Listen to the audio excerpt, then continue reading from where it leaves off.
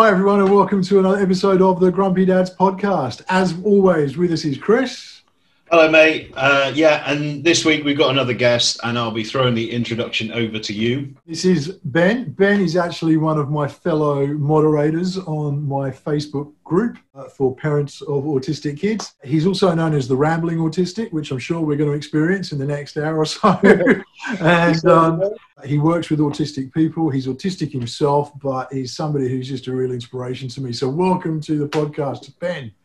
Thank you, everybody. As always uh, on the podcast, with all our guests, we play icebreaker antics. Um, I scour the net for uh, products, and then I go for the one-star reviews.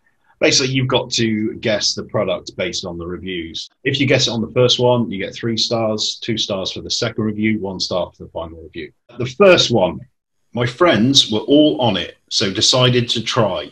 I've now lost respect for my friends. That could be an awful lot of things. Um, that's got to be some type of vitamin or something. Ooh, Ooh, that's a good guess. yeah, that is a very good guess. Uh, Do you, do you want to go with vitamin? Because I can't I can't say if you're right or not unless you go with vitamin. Yeah, I'll go with vitamin. That's Go all right. You're wrong. You- You're wrong. It's fine. Duncan, what's yours? I'm going to go for something along the lines of Snapchat. Oh, that's another good guess. No, it's not. But two cracking guesses. Great Um, guess, but you're wrong. Yeah, I kind of want to give you half a star for the really good guesses, but that we, that's not part of the rules. Um, next review. Just the weirdest thing, like someone threw up in a blender and threw a rainbow and pink milkshake in. Oh, is it Huel or something like that, like a diet supplement? No, no, it's not a diet supplement. I'm going to say I'm glad you went with that because that's where I was going. I, I just knew that, and I was getting it wrong on Ben's behalf, so he has a good guess. I don't know about good guess. That's more taken my guess. right, you, you- you've got you've got another try, Ben. What's uh, what's your take on this? Just the weirdest thing, like someone threw up in a blender and threw a rainbow and pil- pink milkshake in. I will say this is a visual description. I got no. I- My head's saying something like Go on. Is it going to be like booby shirt, like uh, Adam said last week? I was thinking more like along the line of, of like paint, but then I, I suppose that's not paint. It's not. Uh, it's got to be food, something food based. I can't. I can't give you any clues, mate. I can only give clues on the third one when I don't let anybody walk away without a star. Duncan, you look like you're going to guess. You've already had yours, so I'm, don't- I'm just trying to think, so I'm ready for the next one. Oh. I'm gonna have to pass on that. That's a bit. okay, okay. Um, final review. Gave it to my daughter. I can't play this. It's for kids. Oh, Well, Roblox? just- Roblox? No. Yeah. No, it's not Roblox. And I think uh, gave it to my daughter. I can't play it. It's not a free game either. But it is a game. Damn it! Yeah, it is. That's a- yeah, that, there's your there's your extra clue. It's a game. It's a very very popular game. I haven't played it myself. It's got to be something like Candy Crush, hasn't it? N- uh, Is it Animal Crossing? it is Animal Crossing. Well done. okay, so one star for Ben. Next product, first review. Every time I use it, I get indentations on my bum for at least 45 minutes. Really uncomfortable. Stop giggling before I finish the clue. I'm, I'm gonna go with the foam roller, surely. Foam roller. Roll, roll, what? Roller? Why did I say ro- roller? Yeah. Uh, no, no, it's not right. It's not right. You got Why is- Chris. I don't know why I said that. Yeah, roller. I don't even know uh, where they pronounce that. Roller. I'm going to go bike saddle. oh, that's an old guess, isn't it? I think you did that for the uh, slip and slide. before, I mean, this is giving, like, specifically, it's affecting the bum area. Well, there. no, it's not. Next one. Poorly made, cold, hard, and narrow. It, it does. It does fall under the bike saddle again, doesn't it? These make so much sense when you can actually see the product. I'm not sure I want to see the product. Um, What's going through your head, Ben? Because I never asked this of contestants, but what what pictures are going through your head? Anything that you can sit on. Oh, okay. Oh, is it a garden bench? no. Oh, Are you going to pass again, Ben? I'm, yeah, I'm gonna have to pass on that. okay. this is very good on this, Ben. Absolutely shocking. Last review. I go like clockwork every single day, and now because of this, I dread it. Toilet seat. Yes, yes. Oh. Thank God. what was wrong? leaves indentations on your ass? Well, I didn't. When I looked at it, Has uh, it got grip? no, that's the thing. It just it just looked like a budget toilet seat, but there must have been some I don't know people with rather large like behinds that bought it and then got indentations. But it looks unless it's one of those where you you know when you see a product on Amazon or eBay. And then what turns up is completely different. yeah. yeah, it, it could have been something like that, but Oh, Uh, it's got a really toilet. cheap toilet. Yeah. it's, it's sat badly on the actual rim. Oh, it must be. for about a week until I sat down one day and it actually managed to pinch my leg between the, Oh, the seat and the, the porcelain of the toilet. And you, ah! And of course, everyone in the house is like, what the hell's going on in there? Oh, I can't imagine that. how would you get out of that as well? Without just Ah, without just pulling the skin away. Uh, how would you get out? You can't really stand up, can you? While it's it's there. Oh, your reflexes take over you. You get up pretty quick, Oh. leaving half your leg behind you. Yeah. Next uh, next product, first review.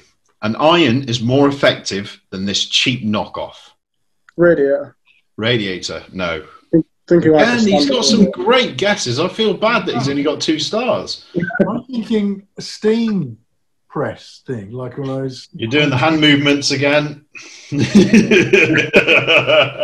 at least, at least it's not this way this time. exactly. That one far, far worse. Uh, no, no, it's uh, it's not a steam press thing. Um, another good guess, but no. Uh, second review.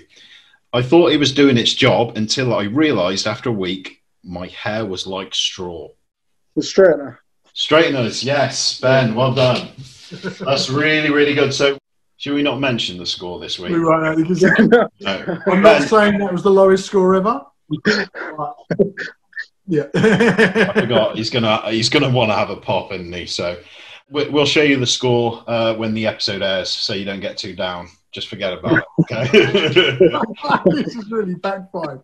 We managed to depress the guest before we really got this is it's actually pretty humble of Duncan because usually he goes right in at the guests if they've got a low score. He'll really he'll either turn around and go, "Oh, you're right at the top of the leaderboard," or then he'll tell them uh, turn around to the ones that have only got sort of five or four stars and go, "You're right at the bottom. You're right at the bottom." So at least he's honest.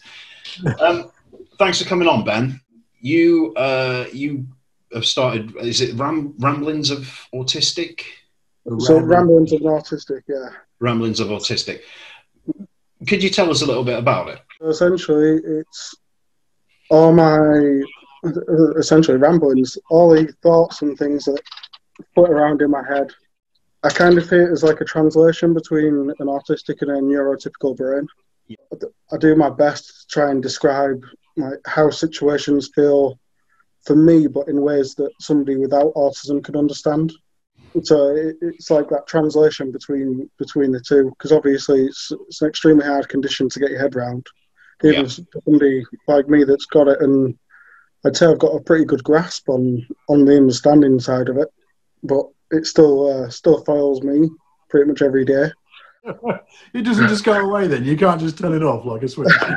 Unfortunately, not. There's no, uh, you know, it's not like a pull card Woody. you uh, you I, I've watched a, a couple of your videos and uh, Duncan did a video with you uh, a while back on PDA Dad channel. You're a dep- is it deputy care manager? Deputy manager of a care home, yeah, for uh, people with autism and uh, challenging behaviour, some mental health. Does that give you an advantage then, uh, almost experiencing on some level what, what they're going through or understanding what they're going through? I think it, it equally has its ups and its downs uh, in the sense that, you know, it's great that I can look at somebody's behaviour and put great analysis to it on why I might do that or what what behaviours they're doing might kind of make me think, what would I get for that if I did it? And it, it's something that I tell parents to do. Like one of the biggest questions that gets asked is, is this stimming? Is this that? Is this, you know, whatever? And I always say, give it a go. See what you get, and if you get anything from it, then it's probably whatever you're thinking it is. And it, it kind of does allow me to do that for the guys that I work with. But I mean, equally as you as you can imagine, the autism also has its downsides to my job. Just turning up to work can be a bit difficult some days, um, and I I absolutely love my job. Just trying to get up and function through those normal routines that everybody has is uh, sometimes just a bit bit harder some days than it is for other days. How, I mean, how did you get into it? When you, it's, it's an interesting for me. It's an interesting idea that you know, obviously someone who's lived with autism on a very personal level all his life, to then take that on board and actually get into caring for other people who struggle with the same issues. How did that happen for you? Was it, was it a natural thing? Was it something that you sort of decided one day, I'm going to do this? And, you know. I think uh, as much as the autism does make me have those very impulsive thoughts of, I'm going to do this today. Um, I, you know, I'm going to write a book in six weeks.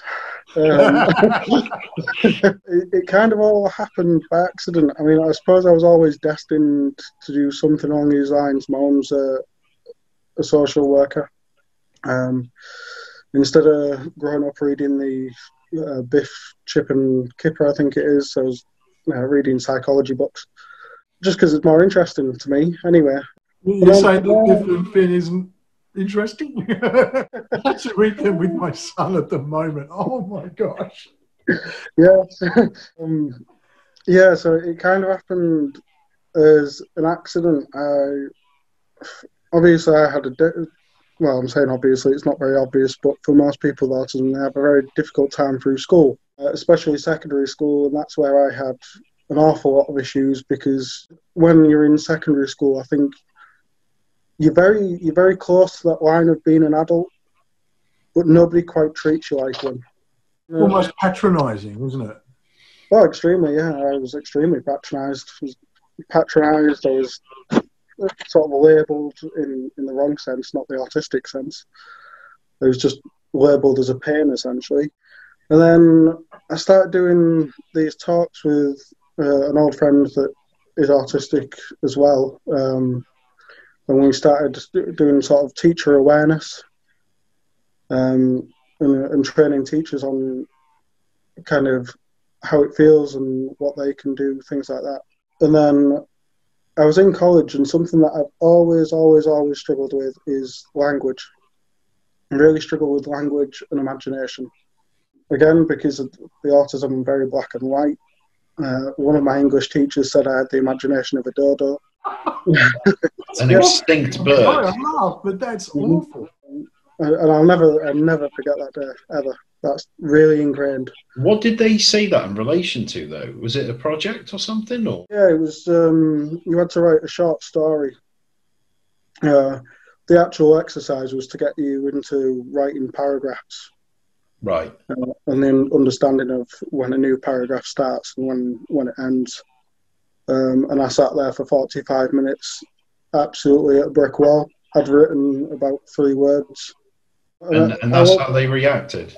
I mean, it's yeah. no, but it's it's no surprise. I'm highly critical of the education sector, but I think it's it's one of these. Uh, you hear these stories um, of, of, of, similar to yours, the education sector letting down um, children, and this doesn't go just for uh, um, ND children either. It's neurotypical as well. But I think it's got to a stage, especially with some teachers, because this isn't this isn't sort of an age-old thing. This is is fairly new when you talk about sort of um, disabilities It's fairly new. And I think there's teachers out there that have been stuck in the ages for so long that they don't feel there's anything left to learn.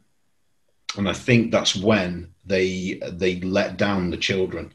And not you like I said, you hear these stories, and it's always uh, a teacher that's been in the job for years and years and years and they've got this huge chip on their shoulder and they feel that they know everything about teaching. Then all of a sudden, something new comes along and they're just flat out refuse it.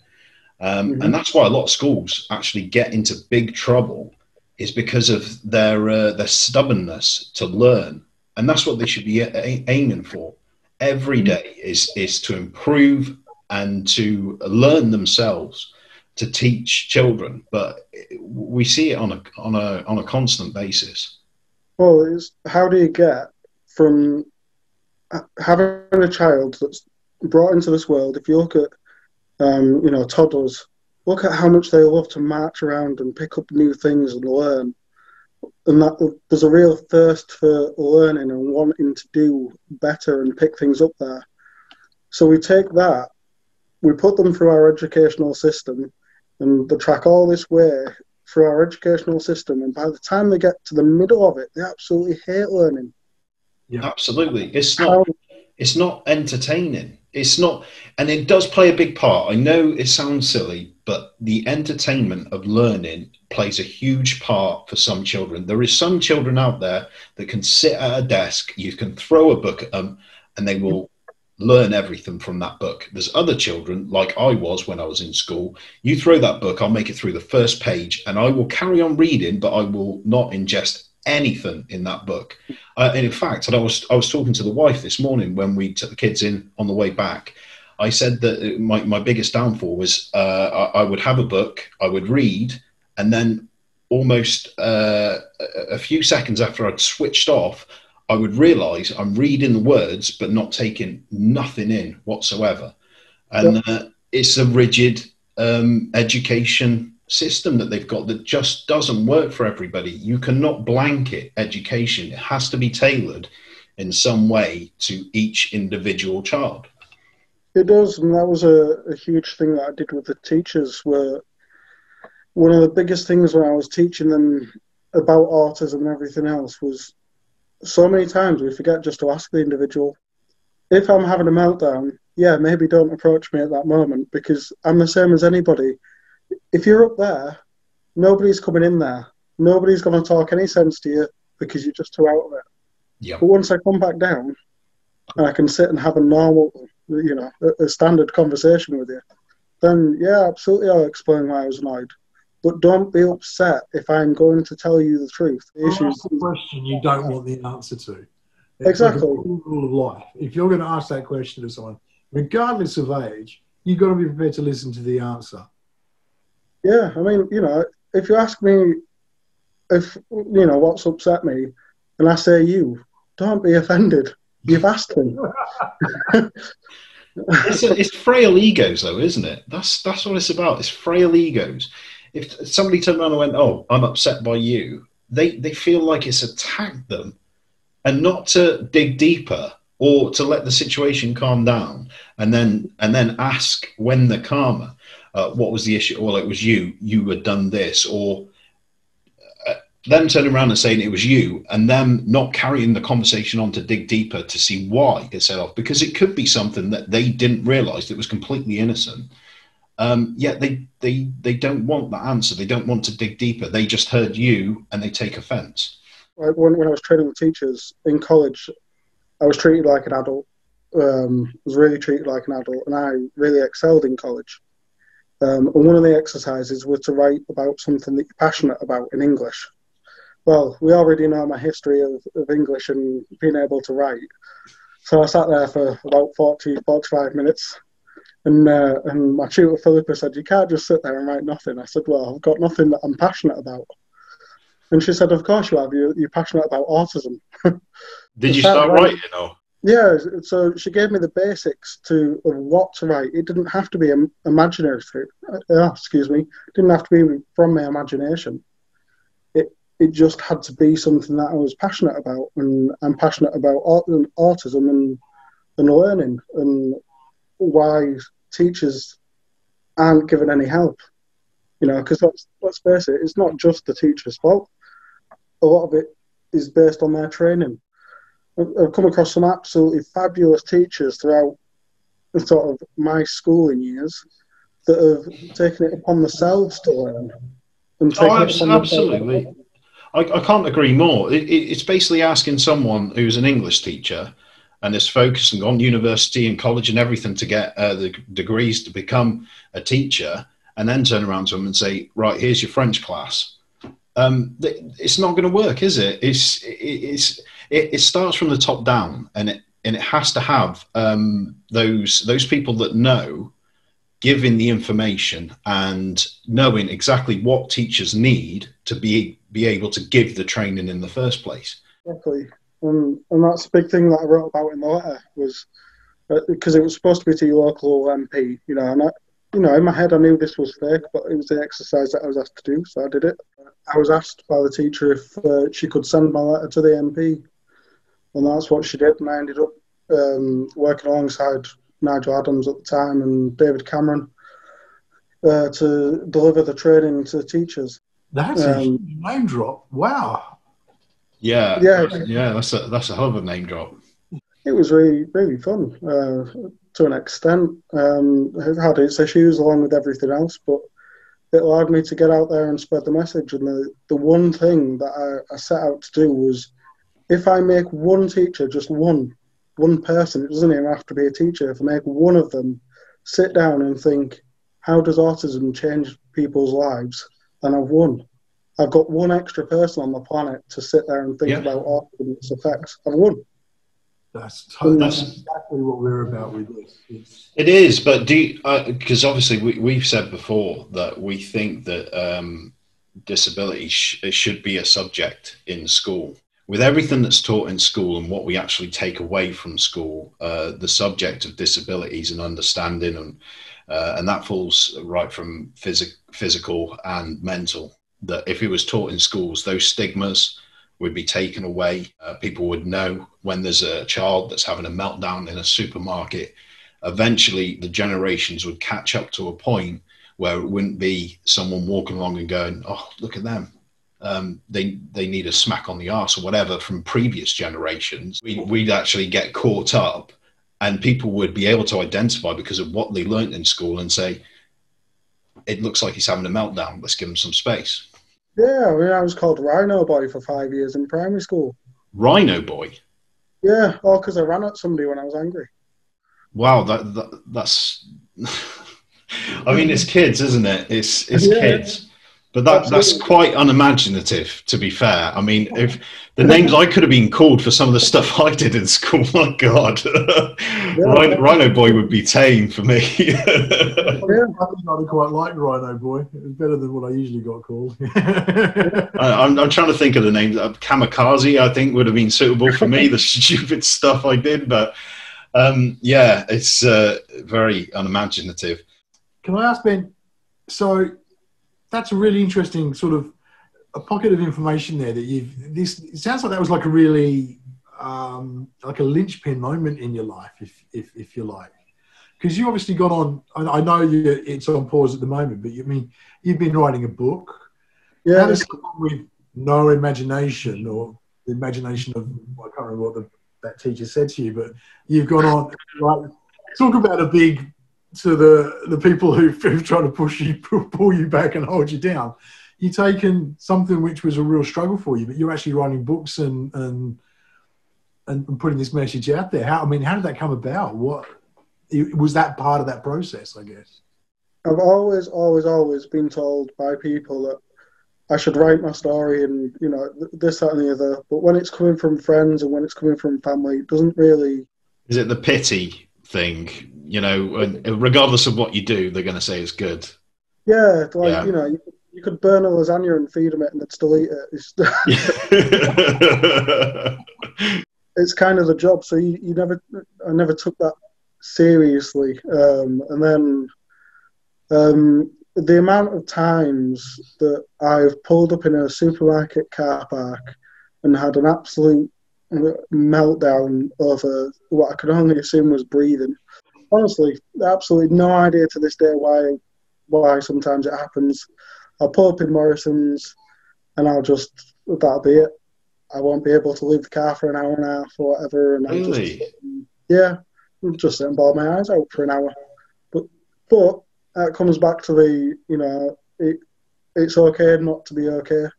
Everybody struggles. Everybody's got that difficulty. Do you do you get do you get any answers after it's over? Do you do you realise what brought it on? Some of them, I'm just left with the it happened and you've got to get on with it. Okay. You know, there's, you know, there's people in far worse situations. There's soldiers that fought for us that have lost a leg. You know, and I'm sat here in a car park worrying about why I've cried. It's not Yeah. really big. It's when I started the ramblings. Um, was I pulled up in a, a Sainsbury's car park, so it's not just limited to Morrison's. Um, Okay. Still exist. Yeah. yeah, They get they're getting their fair share of tears from you. You're spreading them out evenly through the car parks and these. sharing is caring. So Yeah. I don't don't worry, Tesco's. You're next. It's fine. Just look out for Ben crying in the car park. in the Sainsbury's, and I just had this overwhelming, horrible, dark cloud that kind of loomed over, just like it does.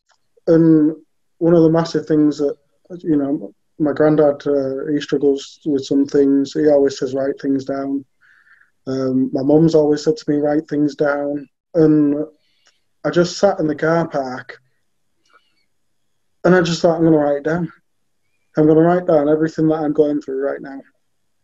And that's what I did. I wrote it down on uh, on a status on Facebook, and I just thought, why not share it? Did did it help you when you were writing it down? Did it did it draw you away? Uh, did it defer from how you were feeling that you were almost getting it out on a page? Um, did it help? I feel like uh, I was kind of on a roller coaster, um, and my, my normal breakdowns are a bit like the dodgems. Okay. You're strapped in, you've got no control. It's going to spin out of here, there, and everywhere. You've just got no control over it. But I feel like writing it down kind of took it from a dodgems to like the corkscrew, where you're properly strapped in. You know what's going to happen. You know what's coming, and you just fasten down a bit more because you can either let it rule you or you can rule it. So the, was it a type of like preparation you kind of knew and you were bracing yourself? Yeah, I was kind of just as I was writing, I was kind of riding the motion of it. Like a, a running commentary of, of how you were feeling? Yeah, and I think in some ways it probably took me a bit darker than that specific meltdown would have gone, but I feel like that helped anyway because I was able to get it out. And of course, people really, really enjoyed that. Tran- well, not enjoyed that translation, but was sort of excited to see the difference and how it does affect people. Because obviously, it's a very hard thing to describe to somebody. Has anybody come out and said they've had anything similar um, with, what you wrote down? Has, has someone said, "Oh, I've I've felt like how you felt," or similar to how you felt? Yeah, um, there's been a few that have said things like that because obviously it, autism affects people in so many different ways. You're going to go few and far between to find somebody that has the exact same uh, traits and, Of and course. things as you. Um, but actually, one of the other uh, modmins on the autism page, they they struggle very similar to how I do. We do the same sorts of things to calm down, things like that, which is cool. It blows me away. And what I really like is that because you often write pieces that go on to the page, just and I always get so much insight from it because I, I, I've said so many times I'd, I'd kill for the opportunity just to have a day in my daughter's head, not because I want to suffer the way she does with her, you know, difficulties and challenges, but to be able to understand from the inside would make the world a difference. And I kind of get that from your writing a lot. When you Yeah. write these down, I'm able to read it and I, I get an inside perspective. I find this talking to autistic people in general. I think that there's a stigmatism almost that you can't communicate with autistic people. Yeah. But the, I get so much from talking to yourself and other autistic friends because I get that inside perspective and it helps me to understand what she's facing in a, such a more intimate way. I understand it. I'll never experience it the way she does, but it gives me those glimpses and really helps me to overcome a lot of the challenges that we get hit with because she can't express it at the moment. I mean, yeah, it's it's magic what you do. It is. Obviously, your, your mum, I'm assuming, reads your work when she can and and and does different bits. Did she ever? Did she ever react negatively to any of your work when you mentioned her, or things she did or didn't do, or did she understand that it wasn't criticism, but it was your thoughts at the time? No, I think it's very important to to say that my mum does not read one thing before it gets posted. So she does not get heads up at all about what I'm going to say about anything. And obviously, you know, we, we, talk about it because again, it, it is about talking. Um, but have I offended her? Probably. Has she told me?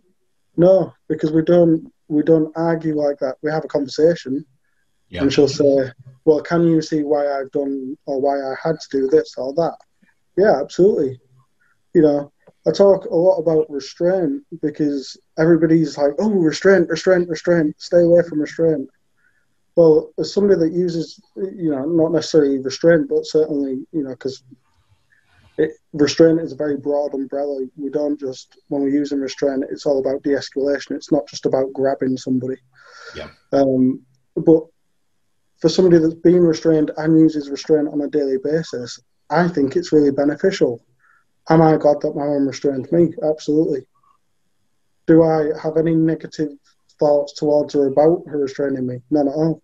It's it's one of those things with restraint. It's a very touchy subject, isn't it? Because oh, I think if you if you don't know about it, it can be uh, confused for um, almost causing harm to the individual. But it's it's just that stigma that people don't realise the situation before a safe restraint is carried out. And people assume yeah. restraint it, that when they hear restraint, they think of that full-on bouncer in a nightclub. You never see the image on TV of one person who's in a, uh, uh, what they call a low-level hold, where they're just holding the arms carefully, but it's almost like a hug. And it's no, you know, that's a form of restraint, but you're just keeping the arms safe, but you're actually keeping the person close people automatically think the stuff that you see presented whenever it's talked about is always the there's five people and some poor person on the ground writhing. And like you say you don't know the lead up to it but you also that's the only image that gets presented. Whereas there's so many other forms of restraint that are so much gentler and so much more supportive in a way to, than what we think. You know if it gets to that that there's usually a reason when you see restraint and, and it does make its way onto mainstream media or something like that it's sensationalized and, and because it's sensationalized, it always looks horrific. If it was in the case of what you just said, Duncan, where it was in this calm and supportive manner, it would be nowhere near the TV stations or the newspapers. It has to be something that looks horrific. There are places that have abused restraint, and that's clear. And that's what sucks, but it, it doesn't. So it gets painted in a really bad light because people have abused that responsibility. I've been ex- I've been restrained by the police in a very wrong way, just again because I was autistic, not because of anything around, because they touched me and I flinched, because I don't like physical contact. So as somebody, as an officer went to touch me, I went like that, and the next thing and I know, four of them on top of me. Coming from somebody that's had it both ways, that somebody where I've been restrained in a very wrong way and a very right way I like restraint because it makes me feel comfortable in the sense that when I'm up there and there's nothing that control me, do you really think that my brain has the power to control itself? It doesn't. You way, way up there. There is no, there's nothing on the earth that is going to make my brain in that moment go, that's a person that you love, don't hurt them. Yeah.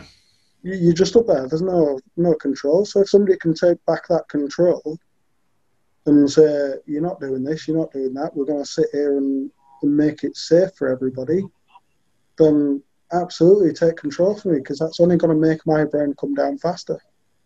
Absolutely, yeah, and and again, even with that uh, altercation with the police, you can't tell me that they were they were trained or knew anything about your condition or could even identify um, the the reason why um, you you did what you did.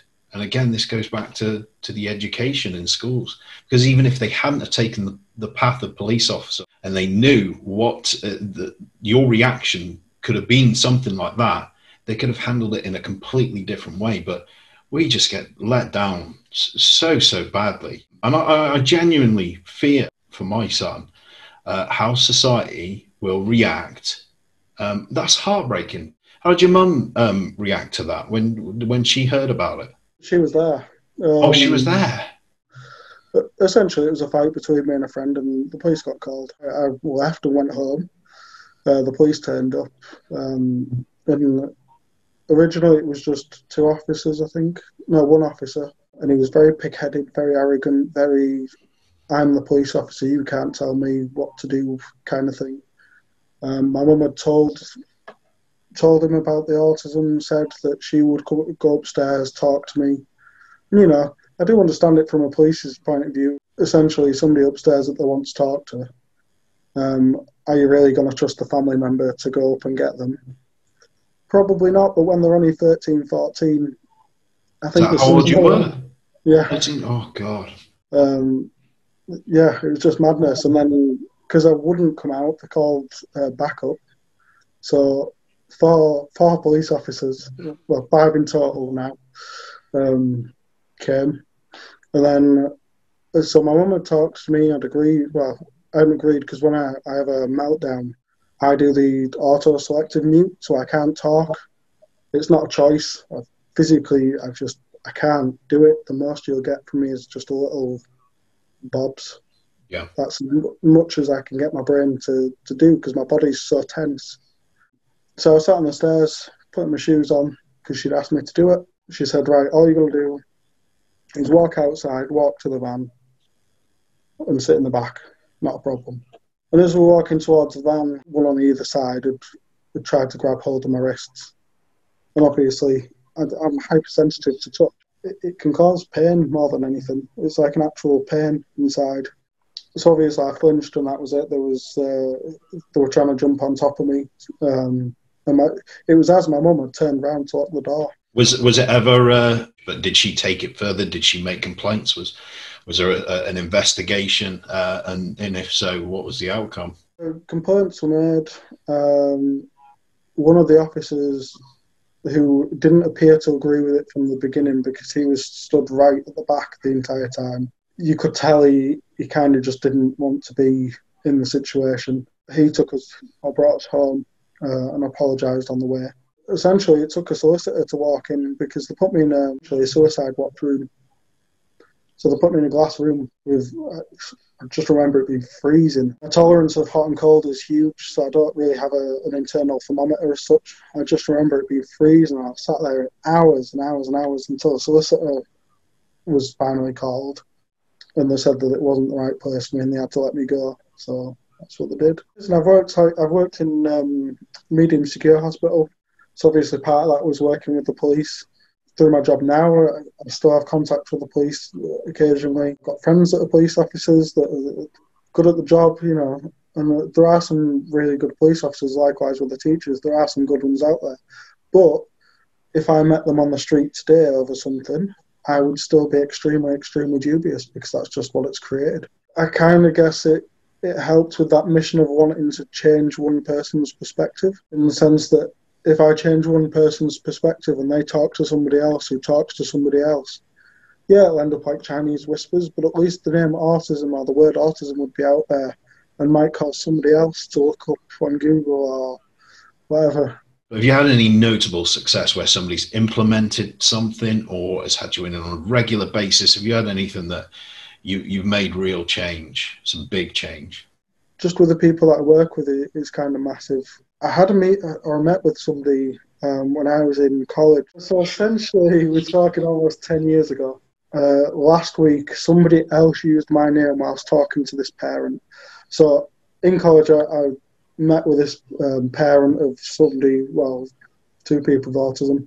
She asked me for advice, and and things like that. So we spoke about autism and how it can affect, and we spoke about the coping cup that um, me and Duncan have spoken about before, um, and all the different strategies and things, and how he might be perceiving things that we wouldn't perceive in that way, because obviously our thought processes, well, essentially our minds are just wired very differently. so we spoke about all that, and somebody else used my name and said, "Oh, uh, so um, and so," and the parent was just like, "Oh my god, he made all the difference to my kids." And I, I tell you what, what threw me more was I met with her after that, and she remembered what I'd said almost word for well, in fact, almost better than I'd remembered what I'd said. and to know that I'd made that much difference in just two people's lives, well, three people's lives. That's amazing. Just, yeah. If there was one thing that you could draw on right now, and you, if you could communicate something to parents now about what it's like living with autism and maybe how the relationship is with parents, I mean, what would that be?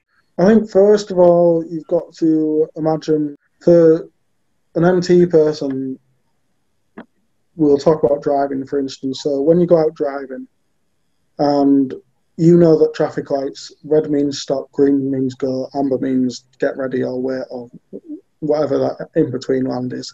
Don't, get in a car with Ben, by the way. you know what every task means. You know what um, those lights mean. But when I wake up on a morning, I don't know what those lights mean. Those lights are brand new to me. It's like I knew the I knew the rules yesterday, but today, when I've woken up, for some reason, green means stop and red means go, because that's how much social rules and social social cues change and dictate what we do. And that's obviously very confusing in itself. I suppose the other thing that I would really like to draw on is that a lot of people have that question of, do they love me? They've never said it. Do they really appreciate what they do? And obviously, of course we do. It's just love for me is very different. How do I know what love is? If I don't know what happiness is or sad is, um, because you know all the emotions I never knew. It's like the entire world got together in a little meeting before I was born, and they all had this meeting and decided what feeling was what and what rule was what and how they was going to react to somebody dying and how they was going to react to somebody that suffered a loss or something like that. And for some reason, nobody took notes and nobody wanted to give me the memo. I think the the love thing that that that really annoys me. This one, um, when when someone first told me about it, it smacks of a desperation that you need to be told by your child that they they love you in a traditional way. The fact that they would come into you in the morning shows that they love you. The fact they would ask for your help shows that they love you my son, he he, I can't remember the last time he said it, but that doesn't mean that I am sort of drawn in enough to say, oh, does he love me enough? I think there's a thing in there though that we have different love languages. I, have spoken about this before. It's it's actually it's a Christian guy who who wrote this thing about the five love languages and that um, but i think it relates to anybody it doesn't matter what you believe the actual concept behind it is just so rock solid because you've got words of affirmation acts of service time spent physical touch and these are the different forms of the ways we communicate love and for some people that words of affirmation is their primary love language if you know what somebody else's love language is, then you can communicate with them in that way. But they may not understand it if you're only communicating in your love language. So if my love language is words of affirmation, which, which it actually is, I need to hear, I love you. And so hearing that from my daughter or my son makes a huge difference. It really impacts me. Uh, my wife, her love language is time spent. So actually spending time, quality time, makes a big difference. I need to be able to communicate that I love my wife in that way by actually spending time because that's her love language that she's going to understand from me. And I think that's where people get stuck. They don't realize that there are these different ways that we communicate love. And so they think their kids don't love them because they're not communicating in their own personal primary love language. And you've got to be able to take a step back. And I recommend anybody to read the book that he that this guy wrote on it and I think once you see that, you'll start seeing, like you're saying, Chris, you used to, you know, because your kids come into you and giving you a hug in the mornings. That's physical contact. He has said, "I love you" in the past, but I, I never needed that. Uh, that for him to to say it in a way that I understand. I I always knew my son, and regardless as well. I don't want anybody taking offence to this because, for me, my son, regardless if he loved me or not, I I'd still be there. It, it wouldn't oh, matter to me, even if he uh, and he said it before. He's, uh, "Daddy, I don't love you, and you're the worst, and and everything else." I I, I don't care. He is the single most important thing in my life. Regardless of what he says to me, I will still be there. And I will still acknowledge that in some way he does love me. I think it's challenging though, isn't it? Like, I know that if somebody was coming at me, hitting me every day, throwing things at me every day, just generally being annoyed at me every day, you know, it would become a bit difficult to uh, appreciate that they do love you. But my mum uh, probably said it once to my mum. I think that's what most parents do, is that they they they see from a different language, like like Duncan said, that they see through and past their own love language to identify that their child loves them. That's it, everyone. Thank you so much for joining us. Thanks, as always, to Chris. Thank you very much, mate. And uh, a massive thank you to Ben today. Uh, really appreciate you coming on, buddy. No problem. Thank you for having me. It's been good. Look, please do like this episode. Please do put in the comments. We'd love to hear your experiences. If you're autistic and you've had experiences with police or teachers or something that you want to share, positives and negatives, put them in the comments please do subscribe to our channel. It makes a huge difference in getting this out there. And we will see you again next time.